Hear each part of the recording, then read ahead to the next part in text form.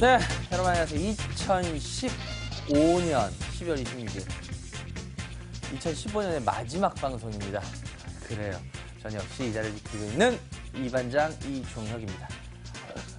아, 올해 첫 방송을 하던 게 진짜 얼마 된 것 같지 않아요. 예, 2015년은 하면서 첫 방송을 시작한 게 얼마 된 것 같지 않은데, 오, 벌써 진짜 2015년의 마지막 방송입니다. 그래, 딴 때 어떤 때보다도 마음이 그런데요. 올해 2015년은 참 시장이 봤을 때 어떻게 보면 참 쉽지 않았 쉽지 않았던 시장 그렇게 정의해야 될까요?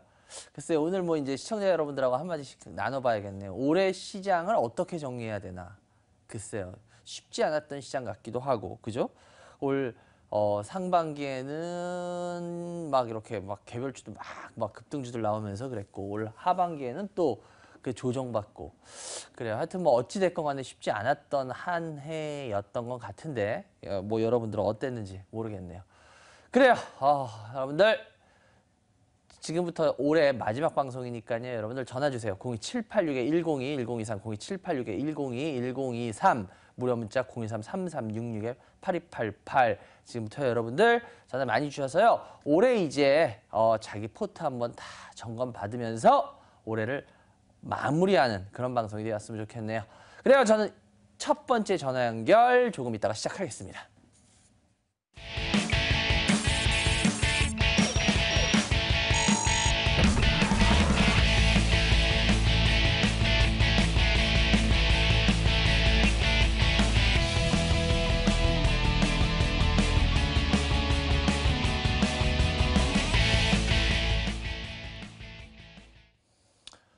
네, 여러분들 어떤 분이 과연 올해 마지막 방송에 첫 번째 전화 연결됐는지 전화 연결해 보겠습니다. 여보세요? 여보세요. 네, 안녕하세요. 예, 예, 새해 복 많이 받으세요. 아이고 미리 이렇게 인사해 주시네. 예, 그래요. 아유, 감사합니다. 어디서 누구세요? 예, 서울에 사는 땡이 할머니라고 합니다. 아, 어떤 할머님이요? 땡이 할머니예요. 수연이요? 땡이, 땡이. 땡이? 예, 땡이는 뭐야? 강아지 할머니예요. 아, 그렇구나. 예. 연세 어떻게 되세요? 예? 연세. 연세요? 아, 연세가- 70, 70다 됐어요. 아, 70이 다 됐다고요? 예, 아 그러시구나. 그래요. 주식은 얼마나 하셨어요? 예. 연, 한 3년? 3년이요? 그래요. 우리 땡이 할머님은 그 땡이 종이 뭐예요? 종이? 푸들이에요. 아 푸들이에요? 토이 푸들? 예, 아 토이 푸들 갈색? 흰색이에요. 아 흰색. 예. 어 그래요. 몇 살이에요? 14년째. 14년 됐다고? 네, 그러면은 사람 나이로 따지면 거의 90이 넘었는데? 예, 당뇨병 환자의 복, 봉사예요. 아, 이야 그렇구나. 이야 그 새끼 때부터 키우셨어요? 네, 어, 지금 그럼 좀 남다르시겠다. 요즘 하루하루. 예. 그죠? 예, 너무 아. 애매겨요. 그렇구나. 아유, 그래도 푸들이 정말 똑똑한 게잖아요. 예, 너무 사랑스러워요. 제가, 저도 걔는 뭐, 많이 모르지만 조금은 알거든요. 그러다 보니까. 아, 그래요. 어, 우리 땡이 할머니 어떤 주식 갖고 계세요? 톱텍하고요. 아이디스 잠깐만요. 톱텍이요? 매수가 얼마요? 27,850원, 비중은요? 10%요. 예. 그 다음, 아이디스 아이디스요? 예. 21,100원에 50%거든요. 어, 아이디스를 너, 50%나 갖고 계시네? 예, 아이디스, 예. 아, 되게 많이 갖고 계신다. 50% 2만 100원. 야, 이거 근데 이거 글쎄요. 한 3년은 되셨어요. 3년은 주식하신 지 된- 됐다고 했는데 예. 다 물렸어요. 예. 근데 아니 뭐 물릴 수도 있고 안 물릴 수도 있고 뭐 그거야 뭐 주식이라는 게 뭐 물렸다가 가고 또 뭐 먹었다가도 뭐 빠질 수도 있고 하는 게 주식이지만 일단은 뭐 어, 주식의 정답은 없어요, 솔직히. 그죠? 우리가 항상 말하지만 주식의 정답이라는 게 어디 있어요? 만약에 올라가고 떨어지고 이분법으로만 한다 그러면 이 세상에 주식할 수 있는 사람 누가 있겠어요, 그죠?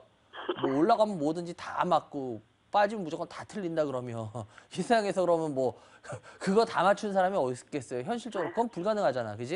예. 근데 문제는 뭐냐면 자기만의 논리가 있는지 없는지 틀리건 안 틀리건 간에 자기만의 논리가 뭐 상대방이 그걸 인정하든 안 하든 그건 뭐 어떻게 보면 그다지 뭐 중요한 게 아니라 자기만의 논리가 있느냐 없느냐예요. 그 주식을 봤을 때. 근데 아이디스 같은 경우에 2만 100원 매수가인데 현재 1만 8천 원 정도 된단 말이에요. 예. 뭐 이거 빠진 건 괜찮아요. 그런데 어떤 논리로 접근을 하신 거예요? 이 회사에 대해서. 예. 그건 CCTV 어디든지 요새는 많이 하잖아요. 네네네. 예. 그래서 그래서 예.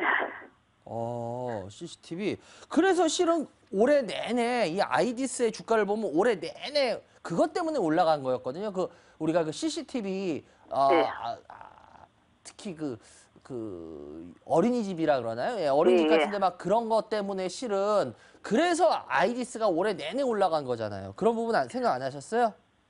예. 아, 이- 그래서 더 올라갈 것 같아서 아, 더 올라갈 것 같아서. 예.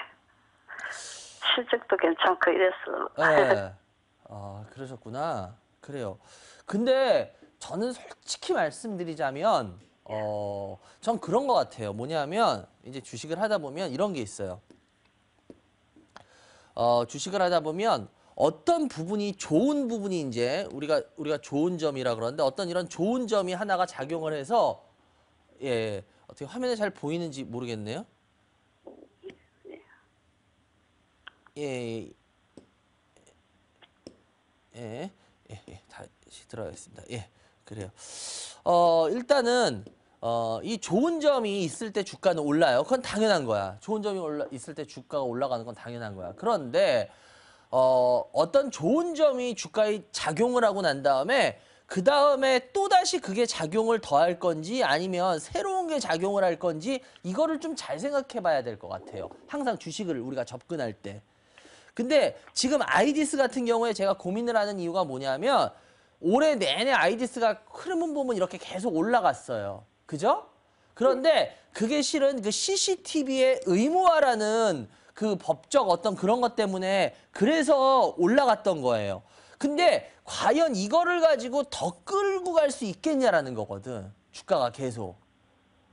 요 부분에 있어서 될 것 같다라고 생각하면 이 주식을 가져가는 거고 이 부분에 있어서 세모로 생각하면 이 주식을 별로로 보는 게 맞는 거고 무슨 말인지 이해가 되세요? 예. 근데 일단은 지금 우리 땡이 할머님은 요 부분을 더 갈 수 있지 않겠냐라고 보신 거잖아. 그지? 예. 그죠? 근데 저는 개인적으로 땡이 할머님하고 조금 생각이 틀려요. CCTV 의무화라든지 이런 거는 이미 너무 지금 시장에 많이 나와 있고 1년 동안이나 충분히 1년 이상 지금 시장에 충분히 나와 있기 때문에 반영이 될 부분은 저는 거의 다 반영이 됐다고 봐요. 무슨 말인지 아세요? 예.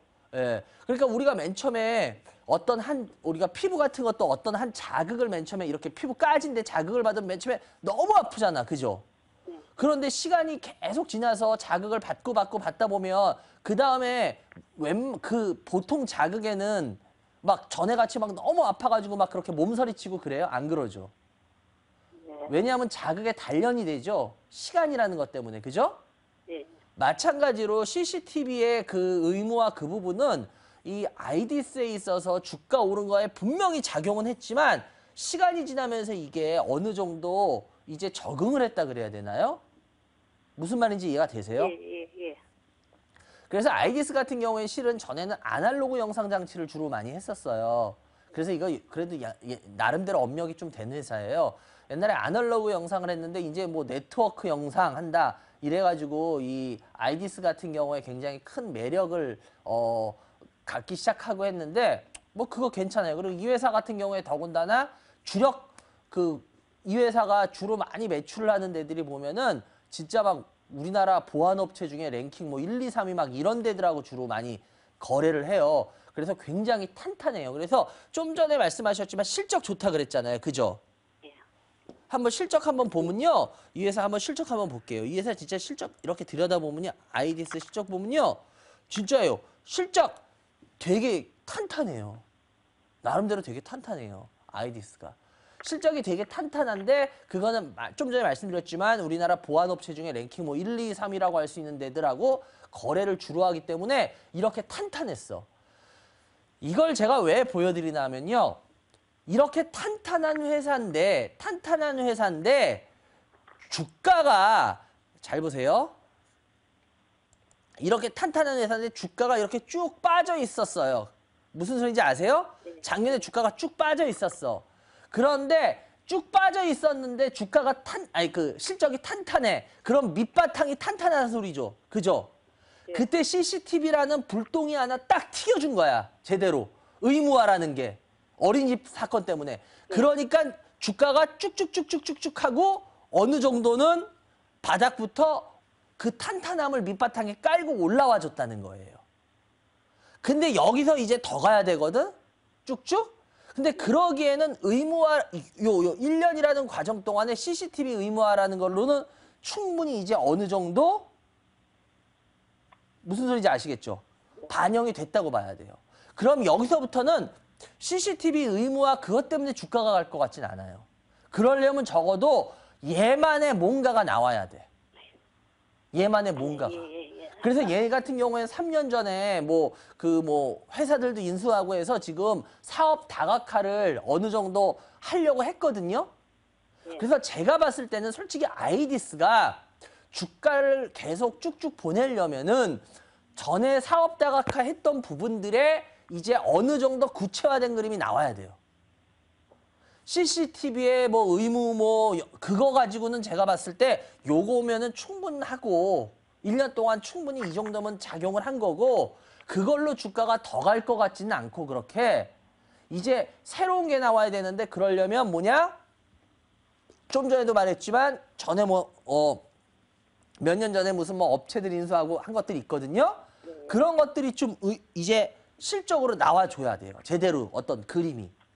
만약에 그게 나오지 않는다 그러면 아이디스는 여기서 그렇게 뭐 큰뭐 이렇게 멋진 상승이나 이런 거를 할 것 같지는 않다라는 거예요.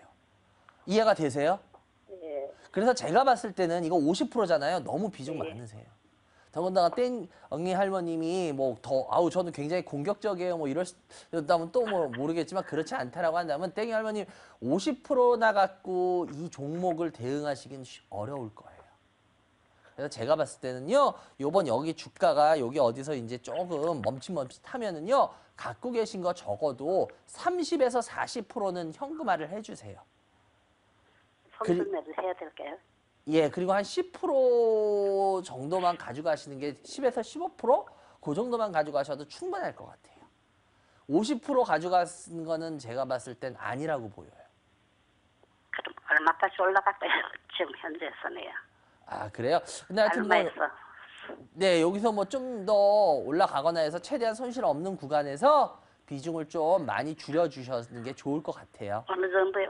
어느 정도 선에까지? 글쎄요, 그것까지는 전 잘 모르겠어요. 매수가 근처에서 최대한 손실 없이, 예, 그거, 그 정도에서 그냥 하시는 게 좋을 것 같아요. 아시겠죠? 예, 그리고, 원금 원금한테만 팔라고 한 건데도 아. 그래요? 아이, 뭐, 그- 본전 와서 팔면 제일 좋고요. 그래요. 그래서 탑텍이고요. 탑텍 같은 경우에도 보시면은 요번에 쭉 올라가다가 쭉 내려오는데 이렇게 내려온다고 뭐 주가가 꼭 안 되는 건 아니에요. 얼마든지 뭐 올라오고 나- 다시 수급에 의해서 빠진 거면 돌려 세우고 갈 수가 있는데 근데 전 솔직히 탑텍이 그렇게 어, 되게 매력적이라고 보이진 않아요, 개인적으로. 예. 저는. 그래서 실은 텁텍 같은 경우에도 이제 조금 반등해가지고 매수가 근처까지 오면요. 일단 예. 요것도 그냥 매도를 전부 다. 해 예. 주시는 게 어떨까라는 생각이 들어요. 예. 예, 그래서 전체적으로 토택도 그러면 27,850원까지는 올라갔대요. 글쎄요, 저는 진짜 저 저희 뭐, 뭐, 저 혹시 저희 방송 좀 보셨어요? 저희 방송 잘 안 보셨죠? 예. 네, 그래, 그러신 것 같아요. 그러니까 그런 질문을 할 것 같아요. 저는 그런 거 잘 몰라요. 27,850원까지 갈지 안 갈지, 뭐 언제 갈지 그런 걸전 몰라요. 저는 주로 어 맞든 안 맞든 저는 투자 마인드로 이 하는 사람이래 가지고요. 전 솔직히 이거 뭐 이렇게 올라가는지 잘 몰라요. 언제 올라갈지 그거는 근데 일단은 뭐 반등 돌려 세우면은 뭐 그래도 빠지는 게 있으니까 또 뭐 이렇게 가능도 해요. 그렇기 때문에 최대한 손실 없는 구간 뭐, 뭐 예를 들어서 매수가까지 오면 뭐 더 좋은 거고요. 근데 그렇게 해서 일단은 비중을 없애주시는 게 좋을 것 같아요. 그래 하여튼 예 올해 1년 동안 어, 시장 수고 많으셨고요. 내년에는 더 좋은 시장 꼭 맞이해서요. 좋은 수익 내시기 바랍니다. 전해서 감사합니다. 예, 예, 감사합니다. 감사합니다. 사랑합니다. 예, 감사합니다. 예, 아유, 그래요. 그리고 앞으로 뭐 저희 방송 열심히 봐주시고요. 그래요. 예, 여러분들 지금 이반장이 진행하는 주식 프로그램 이반장의 주식 미나 처리만을 시청하고 계십니다.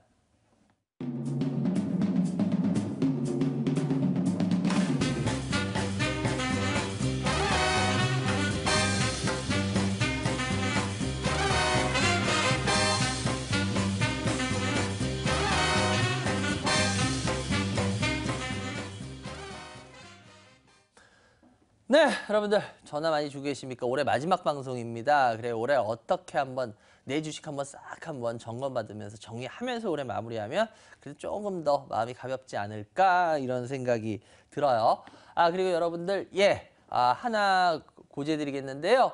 예, 다음 주입니다. 다음 주. 예, 1월 2일 토요일인데요. 다음 주가 사실상 연휴이기 때문에요. 1월 2일 토요일 방송을 예, 결방을 하게 됐습니다. 여러분들 어디 뭐 놀러 갔다 오시라고요. 예, 결방하게 됐으니까요. 아, 미리 잘 참고하시기 바라고 그리고 내년 저희 첫 방송은 1월 9일이 되겠습니다. 1월 9일 토요일이 저희 첫 방송, 내년에 첫 방송이 되니까요. 여러분들 많이 기대해 주시고요. 그래요. 다음 전화 빨리 받아볼게요. 전화 연결해 주세요. 여보세요. 여보세요? 예, 안녕하세요. 네, 안녕하세요. 예, 의사 누구세요? 네, 그 안양 사는 원규 엄마입니다. 원규 어머님 반갑습니다. 원규 네, 어머님. 반갑습니다. 연세가 어, 46이요. 주식 경력은 어, 이제 6개월요. 아유 얼마 안 됐네. 그럼 원규가 네. 아드님이겠네? 네, 아들이에요. 어, 고등학생? 아니요, 대학교 지금 3학년입니다. 어우 대학교 3학년. 어, 네. 전공이 뭐예요? 아, 저기 국제무역이요. 국제무역? 네. 어, International Trade? 네. 어 그래요. 이야. 근데 국제 무역하고 요즘 뭐 청년들 뭐 청년 네. 그 취업하기 어렵다 막 이런데 이제 우리 아드님도 이제 곧, 곧 있으면 이제 그 벌써부터 그 대열에 거의 들어가야겠네. 그지? 아, 저기 어, 군대 갔다 와서 어, 2학년 마치고 지금 3학년째인데요. 어. 휴학을 했어요, 올해. 어, 벌써 취업하셨어요? 네, 이야. 휴, 아니 아니 휴학을 한 게 아니고 어. 휴학을 해가지고 지금 자격증 준비 다 아, 끝냈거든요. 휴학. 아, 네네. 아, 그랬구나. 예, 자격증 준비 끝내고 아 이제 3학년 복학하려고요. 준비 중에 있습니다. 아, 그래요? 어느 쪽으로 취업하고 싶어요? 이쪽. 아, 무역 쪽으로 무역회사? 네. 아, 그렇구나. 그래요. 하여튼 뭐 요즘 저희 때도 이제 저희가 저도 이제 군대 갔다 오고 대학교 졸업하고 막 이래서 그럴 때가 딱 IMF 때 그때였거든요. 네. 그래가지고 그때도 굉장히 좀 아, 힘들고 했었는데 뭐 요즘도 뭐 그때 이상으로 힘들다 그러더라고요 취업이. 하여튼 네, 그래서 요즘에 트렌드가 어, 꼭 3학년 때 휴학을 내더라고 요, 애들이. 그래요? 또 그것도 트렌드예요?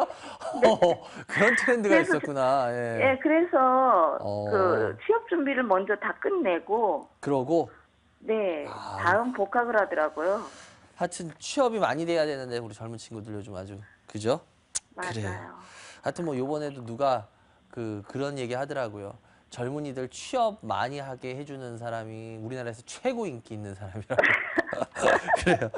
그래 우리 어머니 어떤 주식 갖고 계세요? 아, 제가 조금 속을 좀 썩는 게 있습니다. 어휴, 한 수까지 쉬는 거 보니까 좀 심각한가 보네. 어떤 거예요? 그 부방이라고 아 부방. 방방 네, 전- 방방 방방 뜨는 부방. 예, 매수가 네. 얼마예요? 아, 매수가가 7,270원인데요. 7,270원이요? 네. 7,300원 정도 되네. 비중은요? 네, 네. 비중은 50%예요. 에? 어, 오, 그래요? 이게 쿠첸하고 같이 예, 그, 예. 요거 한 종목인가요? 아니요, 저기 다섯 종목이. 네. 어, 예, 어떤 종목이에요? 네, 신한생명과학하고요. 매수가 얼마요? 어, 어, 매수가는 4,013원. 4,000원이니까, 예. 네 네, 오리콤. 비중이요? 네, 다 저기, 슈더생명과학 20%요. 예. 오리콤 12,215원. 12,210원, 12,200원 정도. 예, 비중은요? 네, 이것도 저기 10%. 예. 어, 저기, 어, 한국전자인증 예. 9,300원 예. 20%요. 예. 네. 어, 다섯 개를 미래. 예. 예, 미래사덕. 미래산업 예, 매수가 얼마요? 아, 미래산업이 지금 매수가가 아, 527원이네요. 527원 비중은? 비중이 이것도 10% 정도. 주식 6개월 됐다 그랬죠. 네네.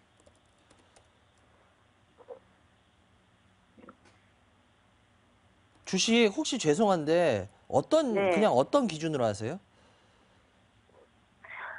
아, 그때, 그때, 그, 그때 맞는 그런 저기, 뭐야, 트렌드 쪽하고, 근데, 어, 좀 누가 이렇게 좀, 누가 알려주고, 네, 그래서 좀 시작을 했었거든요. 맨 처음에 부방부터 시작을 했었는데. 근데 죄송한데 원경 어머님 이렇게 주식하실 네. 거면 제가 좀 심한 말 할게요. 주식 그냥 그만 그만 두세요. 하지 마세요. 아, 원경 어머님 지금 제가 봤을 때 주식으로 실 네. 이렇게 가면 시간이 가면 갈수록 실패하는 아주 전형적인 스타일로 지금 접근하고 계세요. 아. 이거는 그래. 저- 제가 점쟁이가 네. 아니라고 점쟁이가 네. 아니래도 그냥 제가 이제 뭐 많이 개인들 상대하고 막 이러다 보니까 네. 제가 대충 이제 그 하다못해 그런 말 있잖아요. 서- 서답게 3년이면 풍을 읊고 뭐 식감께 3년이면 라면을 끓- 끓인다고 그죠? 예. 네. 저는 이제 그런 어떤 좀 비교적 그래도 그런 눈들이 조금 생겨요. 근데 죄송한데 원기 어머님 6개월밖에 안 되셨는데 이 지금 어, 어, 나이 연세가 요 정도 되고 하는데 요 정도의 그로 지금 제가 주식 제가 왜 그러냐면 제가 지금 주식하는 스타일을 봤어요. 종목 아. 선정하고 하는 거를. 근데 이렇게 가시면요. 제가 백발백중 말할게요. 백발백중 그냥 다 말아 드세요. 그럴 거면 안 하시는 게 나아요.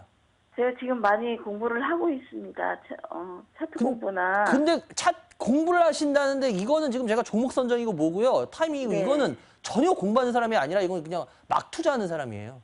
음, 이거는 죄송한데 제가 조, 좋은 얘기를 좀 해드리고 싶었는데 차라리 정신 네. 번쩍 들게 하는 게 나을 것 같아요. 이렇게 하실 거면 이거 안 하시는 게 나아요. 그냥. 음, 그만 두세요. 어, 그만 두세요. 아니 아니 이거는 시간만 가면 갈수록 이거는 더 훨씬 더 깨져요. 지금 주식하는 종목 선정이라든지 패턴이라든지 모든 게 이건 굉장히 위험한 상황이세요. 급등주를 좀 따라가는 스타일. 예, 급등주로 제가 글쎄 뭐, 뭐 방송에서 막 급등주 하시는 분들 계시고 하는 거 아는데 네. 급등주 왜 하세요? 급등주가 빠- 돈 크게 벌 것 같아요? 어, 그러니까요. 아니, 그런, 아니, 좀 잘 되다가도, 아니 그럼 제가 한번 궁금한 게 있어요. 예를 들어서 뭐 급등주로 해서 그 쉽게 말씀하자고요. 급등주로 해서 주식 시장에서 큰 돈 벌었다는 사람 있어요? 전혀 없더라고요. 만약에 그게 되면은 워렌 버핏이나 뭐 예를 들어서 뭐 어? 우리나라로 따지면 무슨 뭐 박현주 미래에셋 회장이라든지 무슨 뭐 에? 뭐 여러분이 알고 계신 그 뭐 돈 많이 번 투자가들 그분 중에 무슨 급등주나 무슨 뭐 차트 매매나 이런 사람 있어요? 저는 왜 자꾸 그런지 그렇게 해가지고 뭐 여러분들이 알고 있는 뭐 워렌 버핏 뭐, 뭐 피터 린치라든지 뭐 여러분들 좋아해서 막 그분들 책 읽고 뭐 예? 하잖아. 박현주 회장도 이번에 뭐 대우증권 인사하면서 어 입지전적인 지점장에서부터 출발해서 어 그렇게 해서 했던 그런 양반들도 보면 아우 나는 차트 가지고 매매했습니다. 난 급등주로 돈 벌었습니다라는 사람이 있어요? 왜 자꾸 없는데 왜 자꾸 왜 급등주는 왜 하시고 왜 자꾸 차트 매매를 왜 하세요? 자꾸 손이 가요.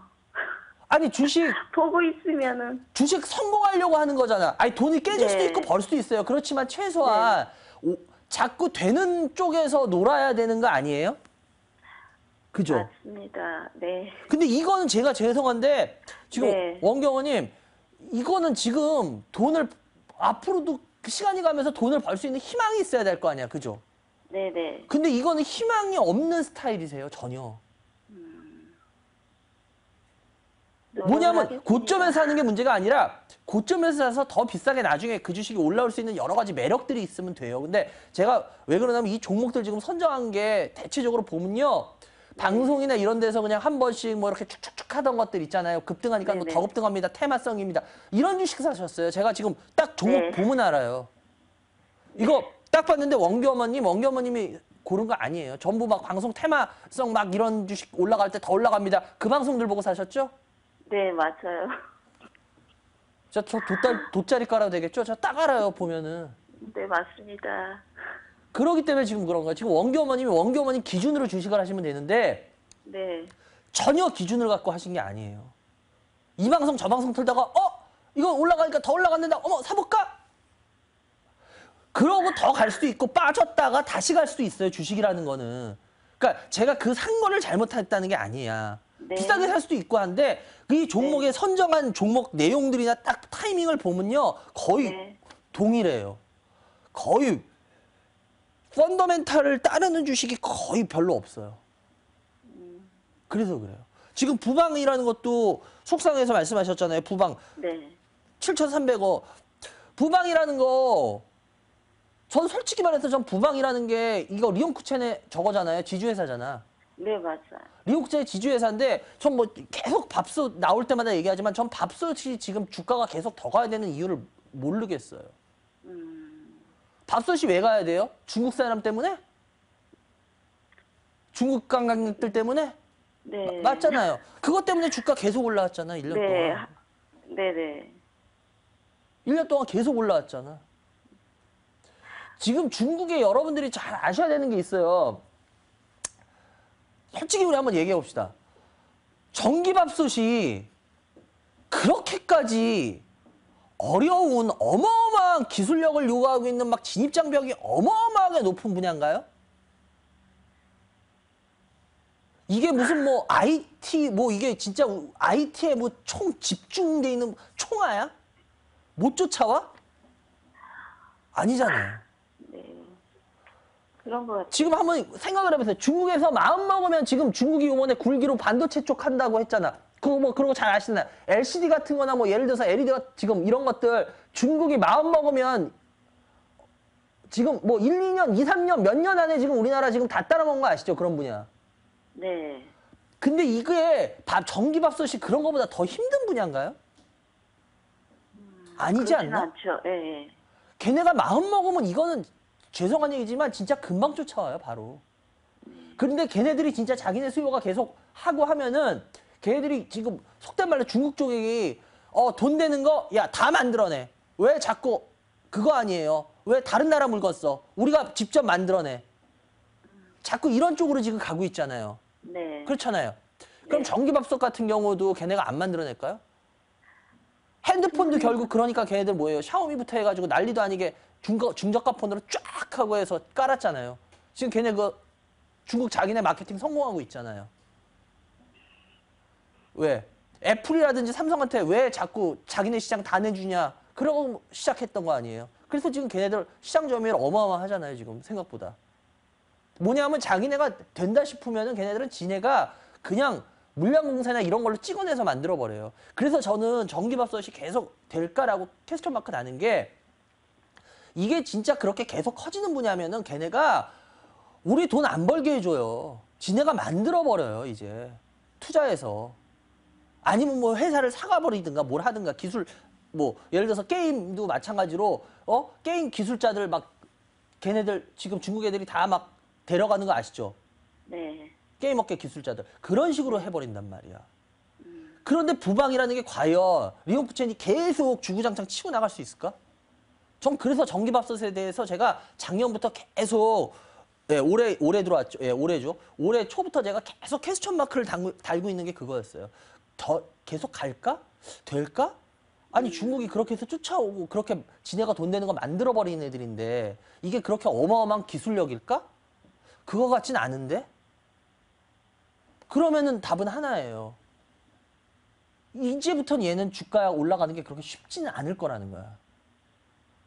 그러니까 뭐 제 생각에 물론 틀릴 수도 있어요. 그렇지만 자꾸 이렇게 자기만의 기준으로 그 주식을 봐야 돼. 근데 과연 부방이라는 걸 이렇게 해가지고 7천 원에 딱 살 때 뭐예요? 아, 7,300원에 딱 사셨을 때 50%나 사셨을 때 과연 어떤 생각으로 사셨냐는 거야. 이 주식에 대해서 어떤 부분이 그러니까 저같이 예를 들어서 어떤 부분이 그렇게 앞으로 더 이 부방을 이끌어 갈 거라고 매력적으로 보셨냐는 거야. 이해가 되세요? 네. 근데 그게 제가 봤을 때는 없는 것 같아요. 지금 우리 원경호님이. 단 그냥 단순히 중국 때문에.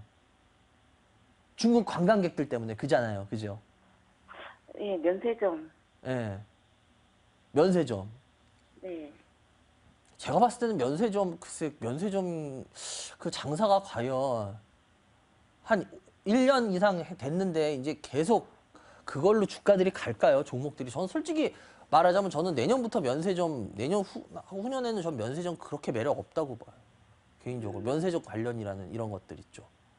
왜 그러냐면 계속 가야 되는데 면세점이라는 게 뭐 넓어져야 되는 거 아니야. 근데 중국 관광객들이 물론 들어와요. 계속 어느 정도 들어오지만 중국 애들이 맥 놓고 자기네 이제 중국 요번에도 아시잖아요. 중국 경제에서 뭐라 그래요. 리커창 총리나 이런 데들이 이제 내수 쪽으로 해가지고 뭐 중국 경제를 지탱시키겠다 이러잖아요. 안 그래요?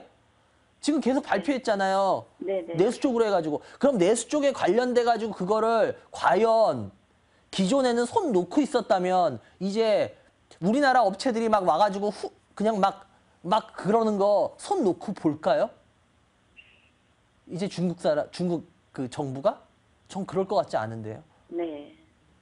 왜냐하면 내수로 해가지고 경제를 키우겠다 그러면 내수 산업을 다른 나라한테 뺏기면서 어떻게 내수를 키워요? 못 키우지. 그건 상식적으로 맞잖아요. 위치로 따져도. 그러면 이제 과연 우리나라 다른 업체들이 막 그렇게 막 후비던 게 면세 관련된 사업으로 막 후비던 게 그게 쉬워질까? 저는 솔직히 거기에 퀘스천 마크예요, 이제. 왜? 중국이 그러지 않겠다고 나선 거거든. 내수로 인해서 자기네 경제 지탱하겠다고 얘기했거든. 그러면 내수 산업을 뺏기면서 어떻게 자기네 경제를 지탱해요? 당연히 내수 산업을 외국 애들한테 안 줘야지.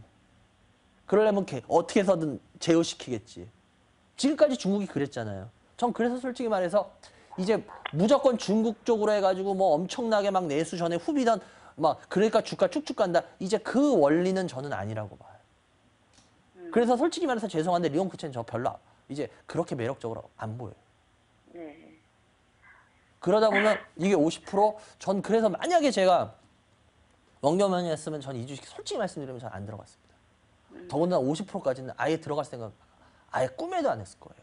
이게 뭐 더 가더라도 저는 제가 봤을 때 제 논리로 설명이 안 되면 저는 그 주식이 오르건 떨어지건 간에 왜 주식은 결국 자기 기준으로 하는 거 아닌가요? 그죠?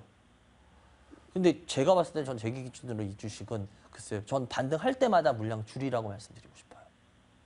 반등할 때마다. 이해가 되셨죠? 네. 그러니까 네. 주식은 제일 중요한 게 원경어님 자기의 원리로 하셔야 돼요. 자기의 논리로. 네. 예. 그리고 어 시내 같은 경우에도 4,000원 20%인데요. 이것도 마찬가지예요. 이거 올라갔다가 빠진 거 네. 이런 주식 웬만하면 아, 그렇게 쉽게 누리지 마세요. 예. 이거 펀더멘탈 솔직히 말씀드려서 안 따르는 주식 중에 전 하나라고 봐요. 네. 네. 예. 그래서 이런 주식은 그냥 나오십시오. 예. 그리고 이런 주식은 앞으로 보지 마세요. 예. 그게 더 좋을 것 네. 같아요. 그러니까 특히나 입문하는 단계에선 그러시지 않는 게 좋아요. 그리고 오리콤도 마찬가지로 12,200원 20%인데요. 이거 같은 경우도 오르고 나서 지금 예, 계속 밀리고 있는 상황인데 이와 같은 데도 제가 반등 그냥 좀 이용해서요. 어, 그냥 매도하시고요.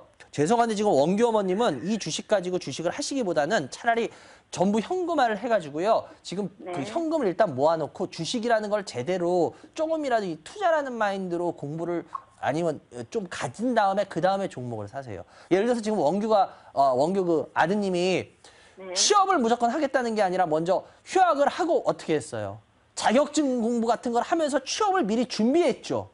네. 무슨 말인지 아시겠어요? 네. 원경호님도 마찬가지로 원규 학생 같이 지금 주식이라는 걸 먼저 그냥 아무 준비도 안 돼 있는데 나 저 취업할래요. 이러면 누가 취업에 뽑아줘요? 아니죠. 착실하게 휴학까지 하면서 준비를 했잖아요. 그지? 네. 그런 식으로 지금 원경어머님도 준비를 하시는 단계를 하시는 게 더 중요할 것 같아요. 지금 이 주식으로 지금 실전에 나와서 지금 주식을 하실 땐 아닌 것 같아요. 지금 종목 선정하는 거라든지 저도 네. 음. 저도 종목 보고 몇 번 망설이다가 네 상담을 원했거든요. 그러니까 네, 줄 알았습니다. 음, 원기 어머님 차라리 그냥 올 매도 하시고요. 네. 차라리 현금 가지고 지금 네. 원기 같이 자격증 공부하듯이 미리 자격증 좀 공부하시고 그러니까 쉽게 말해서 자격증 공부하는 게 뭐 투자 성능 이렇다라는 게 아니라 이 네. 준비를 하라는 거예요 주식에 대해서 어느 정도 아, 투자라는 거 이렇게 하고 모의 투자도 해보고 이미징 트레이딩도 해보고 그리고 나서 다시 주식시장에 들어오세요. 지금 그게 네. 원기 어머님한테 더 중요할 것 같아요. 아시겠죠? 네. 아, 그래요. 알겠습니다. 어떻게 어떻게 원기 어머님한테 많이 도움이 됐어야 되는데 그냥 전 제 생각 너무 그냥 많이 혼나가지고요. 그저 근데 죄송해요. 제가 왜 이렇게 네. 하냐면 아닌 거는 아, 지금 아닐 때 맞아요. 빨리 따끔하게 얘기를 해드려야지 네. 괜히 어설픈 위로를 해가지고 괜히 어설픈 희망을 드리는 건 아닌 것 같아요. 맞습니다. 네, 그래서 제가 더 따끔하게 해- 한 거니까 이해해 주시고요. 네. 네. 그래요. 하여튼 올해 마무리 잘 하시고요. 내년에는 공부 네. 열심히 하시고 그리고 꼭 네. 주식시장 들어오세요. 감사합니다. 예, 그래 전해주셔서 감사합니다. 예, 여러분들은 지금 이반장이 진행하는 주식 프로그램 이반장의 주식민원 처리만 시청하겠습니다.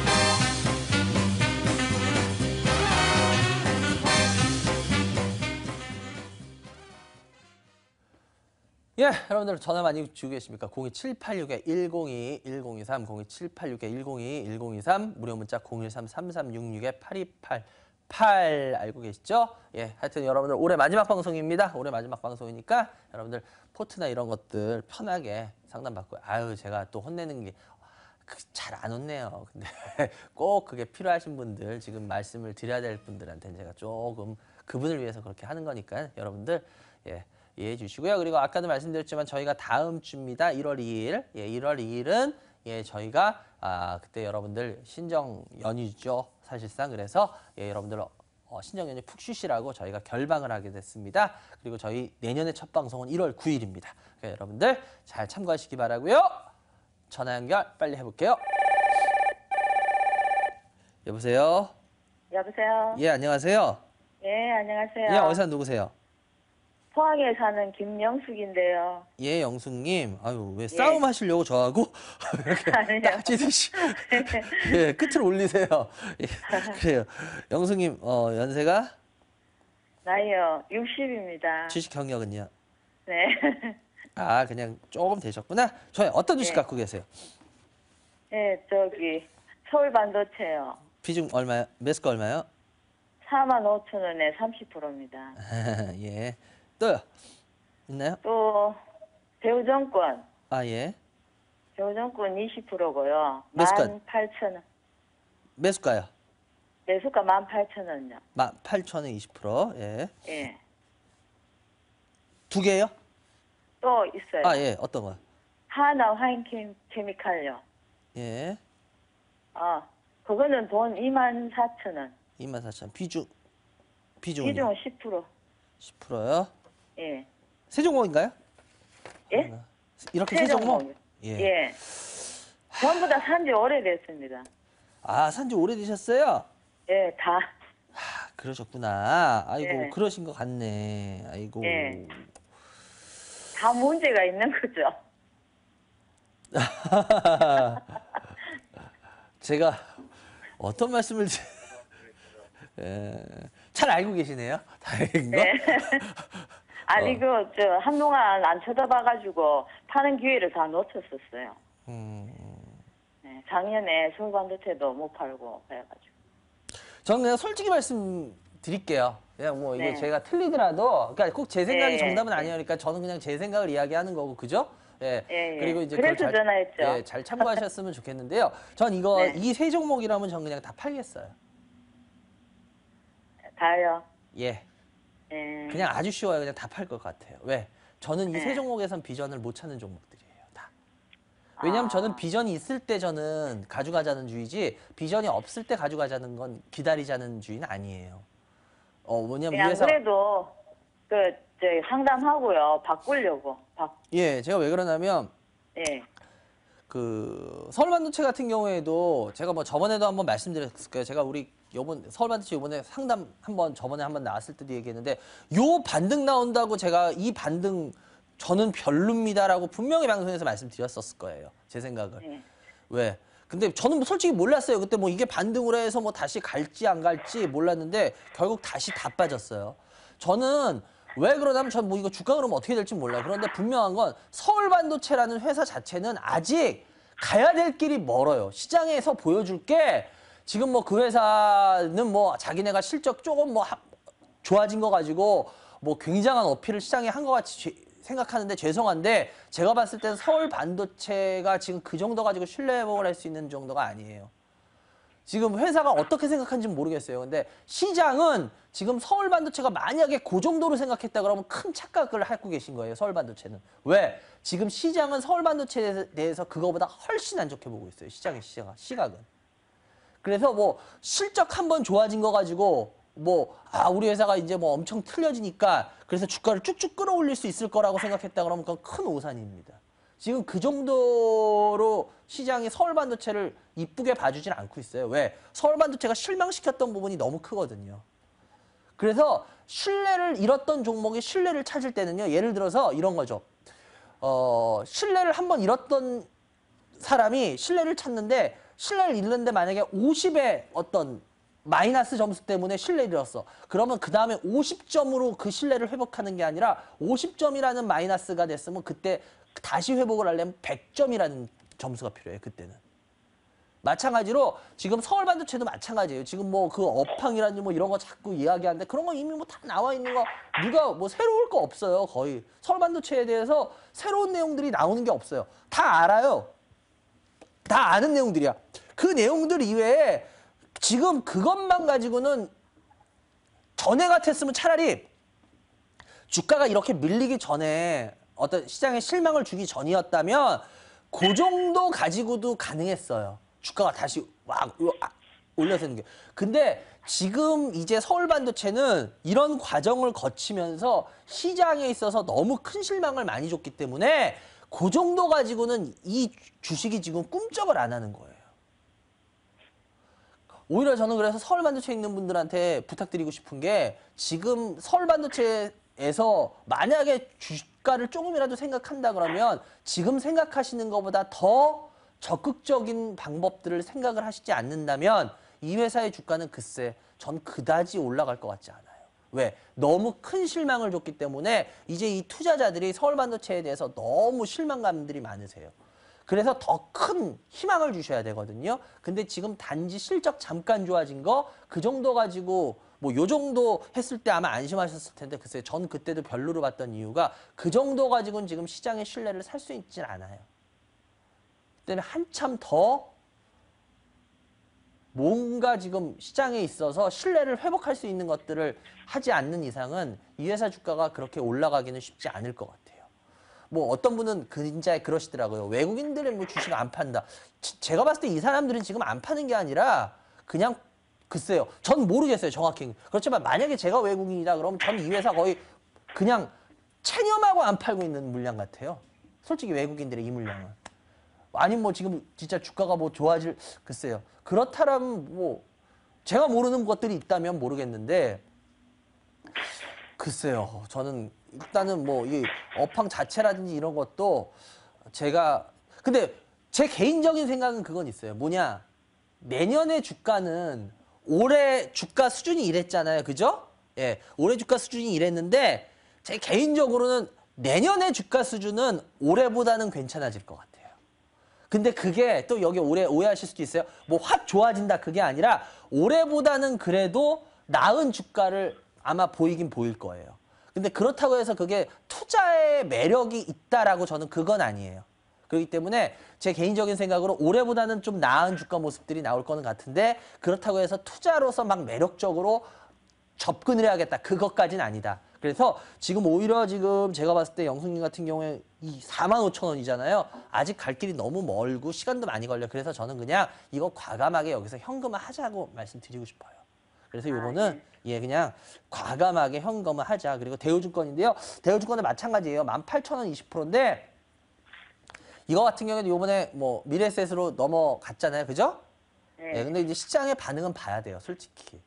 이거를 좋게 해석할지 안 좋게 해석할지는 솔직히 봐야 됩니다. 미래에셋 컨소시엄이 가져간 거를 과연 시장이 어떻게 판단할지 이제 앞으로 나오겠죠. 근데 글쎄요, 뭐 긍정적으로 보는 사람들도 있고 부정적으로 보는 사람들도 분명히 있어요. 근데 어떤 식으로 될지는 모르겠는데 글쎄요, 저는 뭐 개- 이 지금 현재 대우증권 그거 가지고는 아직 갈 길이 좀 많이 남았다. 그래서 어 저는 글쎄요. 저는 일단은 증권주 개인적으로 아직도 안 좋게 보는 마인드이기 때문에요. 전 이거 그냥 현금화 했으면 좋겠어요. 이것도. 그래서 네. 마찬가지로 화인 케미칼도 지금 보시면 알겠지만 예. 갈 길이 너무 멀어요. 24,000원. 그래서 오히려 우리 영숙님 같은 경우 한동안 안 들여보다 보셨다 그랬는데 차라리 이번 기회에 봐가지고 전부 다 현금화 하셔가지고요. 어, 네. 새롭게 포트를 좀 짜보시는 게 어떨까라는 말씀을 드리고 싶어요. 오히려 그게 아, 네. 현실적으로 좀 나을 것 같아요. 이 세 종목 올라오는 거 막 기다리고 막 이러는 거보다는 그냥 네. 현금화 하셔가지고 그냥 이렇게 좀 해보시는 게 더 좋을 것 같아요. 새롭게 내년부터. 아, 아시겠죠? 예. 예, 예. 그래요. 세 종목 상담해 네. 드렸고요. 올해 하여튼 뭐 어찌됐건 간에 고생하셨고요. 내년에 좋은 일 꼭 일어나시기 바랍니다. 전해주셔서 네, 감사합니다. 감사합니다. 예. 여러분들이 지금 이반장이 진행하는 주식 프로그램 이반장의 주식 민원 처리만 시청하겠습니다.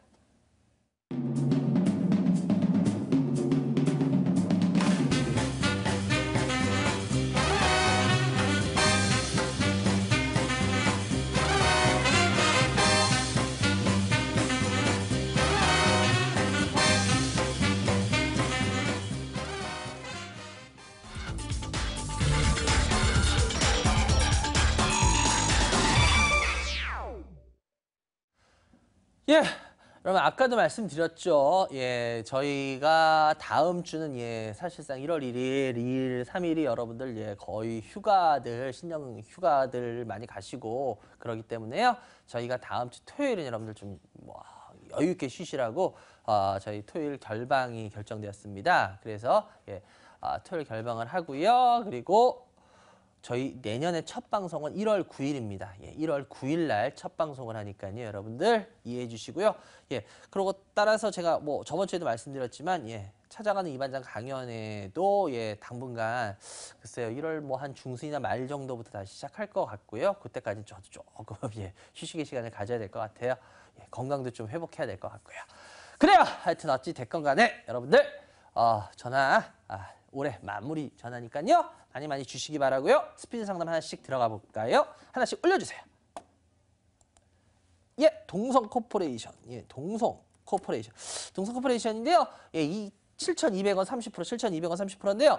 어, 지금 이때는 이제 좀 어, 반등을 하고 있어요. 그죠? 예, 반등은 하고 있어요. 반등 뭐 그렇게 어, 무리한 수준은 아닌데 이제 여기서 이제 또 조정이 조만간 나올 거는 같아요. 근데 어, 30%인데 제가 봤을 때 여기서 조금 더 올라와서 이제 조정 나올 때 그때가 뭐 정확히 얼마인지는 모르겠지만 그때 되면 비중을 좀 줄이셨으면 좋겠어요. 한, 한 절반 정도? 한 절반 정도는 줄이는 게 더 나을 것 같거든요. 그래서 한 절반 정도만 줄이고 절반 정도만 가져가셨으면 좋겠어요. 왜냐하면 이게 계속 올라가거나 그럴 것 같지는 않아요. 여기 올라가다가 또 조정들이 좀 세게 나올 거예요. 그리고 특히나 이 내려갔던 모습들이 저항이 은근 많이 불러오는 모습이에요.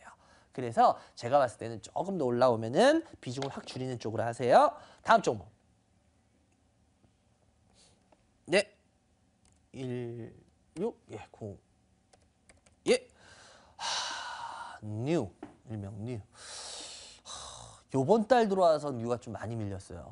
예, 1,400원인데 일단 지금 제가 이거 왜 들어간지는 알 것 같아요. 이거 돌려 세우는 거 그거 노리셨는데 만약에 그렇지 못하고 지금 이게 혹시라도 9천 여기 한 800원 보이시죠? 종가 기준으로 9,800원 정도를 깨면은 얘는요 한 번 더 내려갑니다.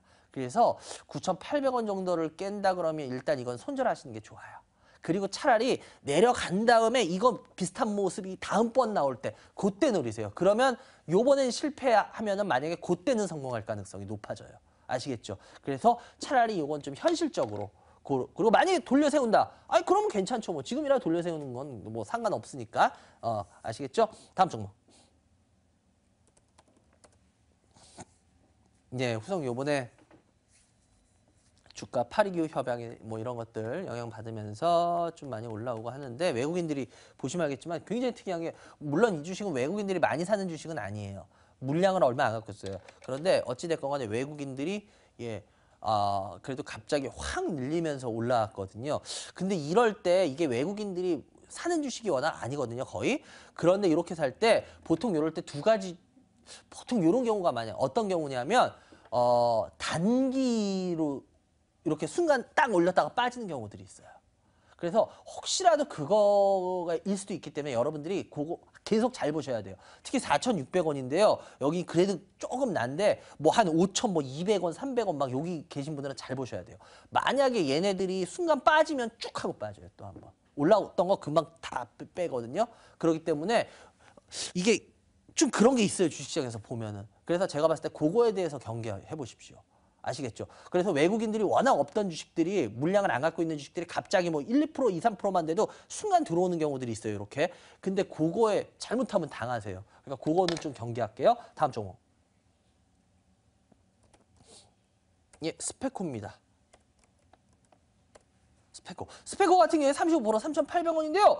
이거 일단은 지금 차분히 조정받으면서 올라오고 있어요. 35%. 근데 솔직히 비중이 좀 너무 높다. 이 주식 자체가 그렇게까지 막뭐 물동량 이런 게 유통량이 많은 주식이 아니기 때문에 비중만 좀 줄일게요. 비중은 한 20%만 가져가고요. 15% 정도는 여기 어디서 어, 이익 실현을 했으면 좋겠어요. 그리고 한 20% 정도만 딱 들고 가면 괜찮을 것 같아요.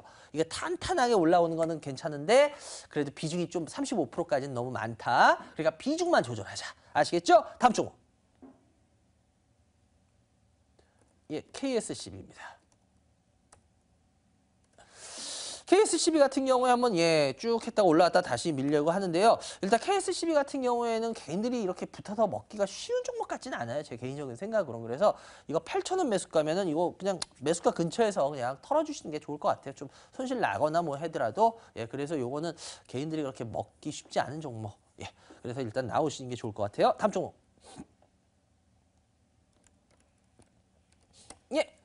KB 오토시스입니다. KB 오토시스 예 지금 꾸준하게 올라가고 있죠. 지금 보시면 알겠지만 예, 굉장히 예 아주 어, 우리가 흔히 이거 추세라 그러나요? 예 추세를 타고 잘 올라가고 있어요. 일단은 그리고 5천 근데 50%나 돼요. 50% 일단 제가 봤을 때는요 이 종목을 50%까지 가구, 가져가기에는 사- 솔직히 굉장히 무리가 되는 종목입니다. 그래서 요거는요, 요 가격에서 조금만 더 올라오면요, 비중을 절반 이하로 줄이십시오. 그래서 제가 봤을 땐 개인적으로 한 15%에서 20%. 아, 나 이 회사 너무너무 좋게 봐. 그러면 한 20%까지만 가져가고요. 그렇지 않으면 15%만 가져가도 충분해요. 이 회사가 뭐 계속 쭉쭉쭉 올라갈, 글쎄요. 그럴 정도의 매력은 아니거든요. 전 개인적으로 봤을 때. 그래서 요거는 한 15%만 가져가도 충분할 것 같고요. 일단 여기서 조금 더 올라오면 이익 실현을 해, 예, 한 35% 정도 이익 실현을 해 주시는 게 아마 나중을 위해서도 더 좋을 것 같아요. 아시겠죠? 그래요. 한종 예, 또 올려 주세요. 예, W 게임즈입니다. W 게임즈인데요. W 게임즈 매수가가 6만 800원, 6만 1000원 정도 되네요. 10%. 어, 요거 신규 상장에 있어서 패턴 이제 보신 분들 저희 방송 오래 보신 분들은 알잖아요. 신규 상장에서 좋은 패턴이 될 뻔 했다가 바로 깨고 내려오면서 안 좋은 패턴으로 바뀌어 버린 거죠. 예. 그래 보세요. 한 다음에 여기서 돌려 세워야 되는데 타이밍 놓쳤어요. 또 밀려요. 여기서 돌려 세워야 되는데 또 밀려요. 여기서 돌려 세워야 되는데 지금 또 밀리고 있어요. 지금 계속 내려가는 패턴이에요. 이런 패턴은 굉장히 안 좋은 패턴 중에 하나예요. 실은 신규 상장에서. 그래서 만약에 여기서 지금 이거 또 저점 깨잖아요. 그럼 얘는 아예 관심을 당분간 아예 끄시는 게 낫습니다. 그래서 저라면 이거 매도할 거예요. 다음 종목. 예, 휴비스입니다. 휴비스 같은 경우에 예, 어, 8,000원 정도, 7,800원 매수가인데요. 지금 비중이 없네요. 휴비스 같은 경우에는 제가 봤을 때 뭐 그렇게 크게 지금 뭐 밀리지는 않고 있으니까 비중이 어느 정도인지 몰라서 좀 그런데요. 요 같은 경우에는 한 8,000원 초반 이 8,000원 3, 400원 사이에서는요. 일단은 한번 이익 실현을 해 주시는 게 좋을 것 같아요. 비중을 좀 보면 더 자세하게 얘기할 텐데 비중이 없어서 좀 안타깝네요. 그래요. 여기까지 해야 될 것 같네요. 어, 여러분들 일부 시청해 주셔서 감사하고요. 그래요. 올해 마지막 방송입니다. 그러니까 여러분들 예, 편하게 전화 주세요. 그래서 여러분들 포트나 종목들 한번 쭉 이렇게 통화되면은 저하고 편하게 이야기 나누고요. 그리고 올해 마무리 하자고요. 그래 여러분들 일부 시청해서 감사하고요. 전 잠시 후 2부에서 여러분들을 다시 찾아뵙겠습니다. 2부에 먼저 가 있겠습니다. 일부 시청에서 감사합니다.